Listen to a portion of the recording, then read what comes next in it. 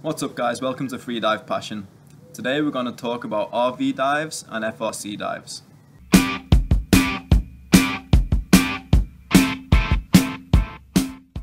So what is an RV or an FRC dive? Well, they represent different lung measurements that you have. An RV, which means residual volume dive, would mean you would exhale all the air you can out of your lungs before you go down. So you might take a breath in, and then breathe all the air out of your lungs and start your dive from your residual volume. Now an FRC dive means functional residual capacity. This is your neutral lung. So to find this position, you would take a full breath and then just relax. Um, the air will just flow naturally out your lungs. The point where the air doesn't go out anymore without you creating tension is your functional residual capacity. So it's kind of like a sigh. It would look like this.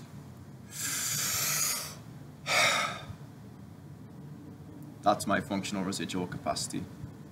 For a lot of people it might sound crazy to do a dive without taking a full breath. But within freediving, things tend to get tricky around your residual volume. That's when um, you're going to start to get negative pressure inside your lungs, and that's also when equalization is going to become much more difficult. Now, if you had to do every single dive with full lungs, then that means you've got to go below 30, 40, 50 meters before you can start training the things which are difficult for you.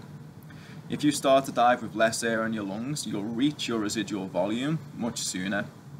This allows for less nitrogen accumulation and shorter dives, which in turn means that you can dive more to help um, train your equalization or build your flexibility within your trachea and lungs. Like I already mentioned, starting a dive with less air in your lungs means you can um, reach your residual volume at a much shallower depth than what you would if you were doing a full lung dive. But is it a perfect simulation? The answer is no. On a full lung dive, as you go below your residual volume, the air in your lungs is going to start to be compressed, smaller than what your lungs are.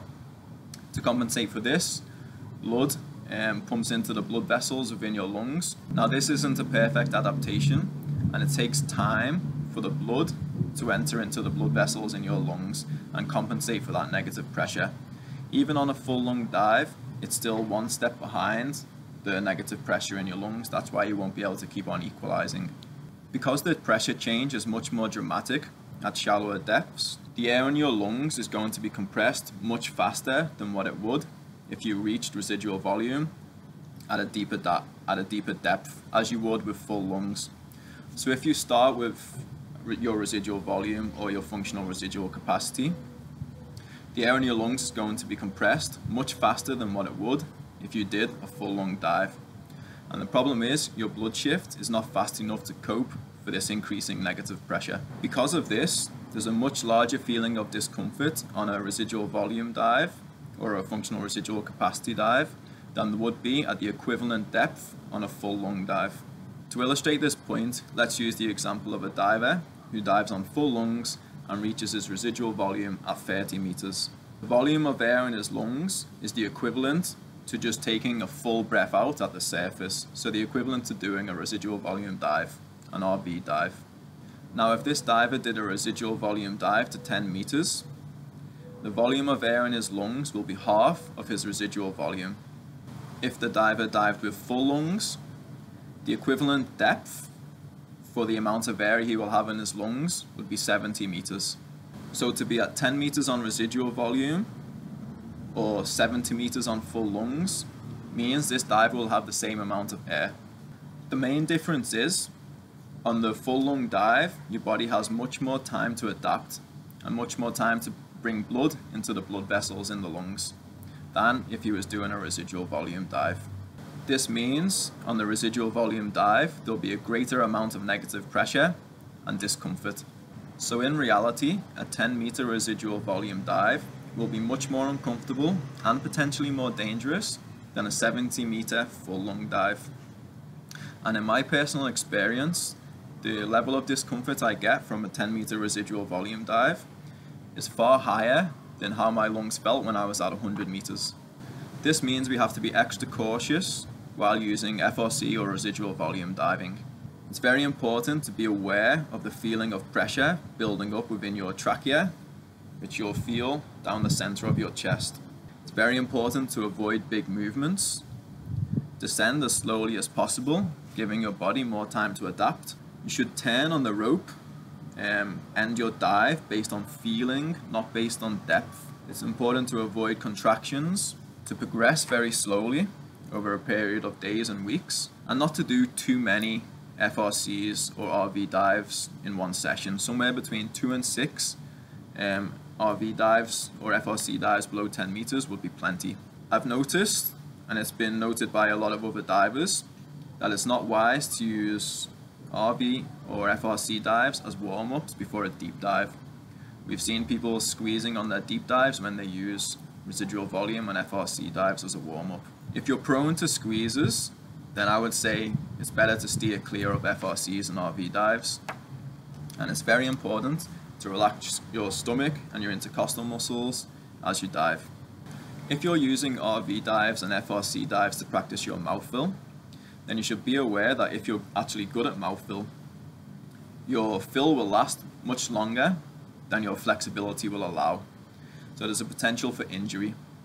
For this reason, it's much it's very important to end your dive going off feeling when you start to feel an uncomfortable pressure in your chest. Don't just go until you can't equalize anymore. To compensate for this and to allow me to train um, the various stages of my mouth fill, I'll use different amounts of air for each FRC dive. So if I wanted to train um, switching from T to K to H, then I'll only fill up the air behind my T-lock, I won't even fill my cheeks. And then I'll practice that.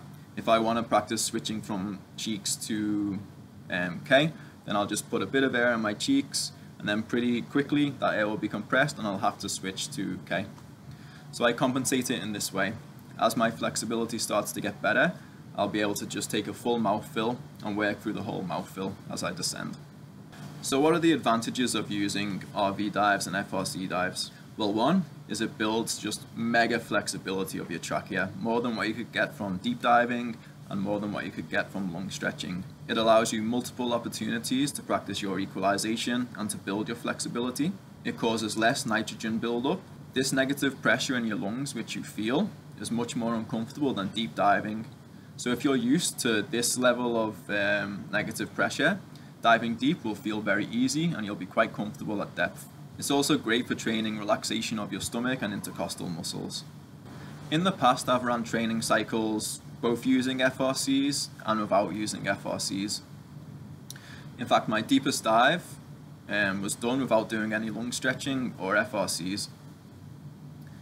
But now I'm starting to see the true value of both lung stretching and FRCs and I've incorporated both of them into my training now. I see it as a great way to build and maintain flexibility and practice my equalization. Especially as a coach, I don't always have time to do deep dives. This allows me to maintain my skills without having to do them deep dives. So that's it guys. As always, I'm not here to tell you what to do or what not to do. Just give you the information you need to make your own informed decisions. Until next time guys, take it easy and dive safe.